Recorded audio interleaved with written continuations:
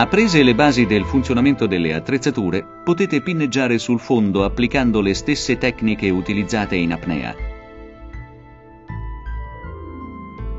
Ricordate che con l'autorespiratore pinneggiare velocemente non produce grossi effetti positivi.